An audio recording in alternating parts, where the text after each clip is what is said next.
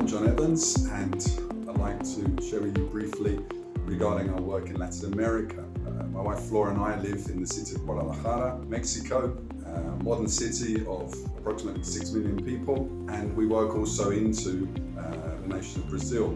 Uh, in Guadalajara, we have four churches in our Regions Beyond Family El Camino Church, El Renacimiento Church, Reino del Padre, and also Comunidad Cristiana Amor.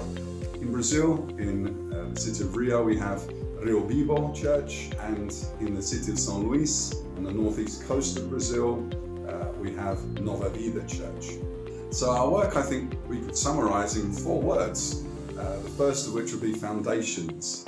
Uh, we believe that if we want a strong future, we need strong foundations. So we do all we can to help local churches uh, to lay a strong biblical and apostolic foundation. And that involves teaching the churches regularly, encouraging the leaders, exposing the churches to all the Ephesians 4 gifts so they can be properly equipped, and also locating and resolving foundational issues in the churches. So that isn't always pretty, but generally it's fun.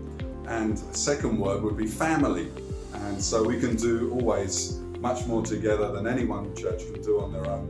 So we work hard at bringing our churches together and so we can have a shared vision and a shared momentum in what God has called us to do. So, for instance, uh, in November we will be celebrating Conexión 2022. We'll be gathering the churches uh, here in Guadalajara for a weekend away, hopefully receiving friends also from uh, the USA and Brazil and other parts of the world where we will worship together and eat together, play together, and also listen to God's Word together through Steve Oliver and Marc Dupont, and really looking to uh, just join our hearts in what God has called us to do. So we want to be a true family on a mission. Number three would be fathering, which basically has to do with training. So I give myself a lot to training, particularly looking to train the younger generation. We just launched a call a Timothy New Generation group, where we have roughly around 20 younger leaders who we are preparing and training in leadership, uh, in preaching, uh, in theology, and uh, looking to see these younger ones released into fruitful ministry in Guadalajara and beyond.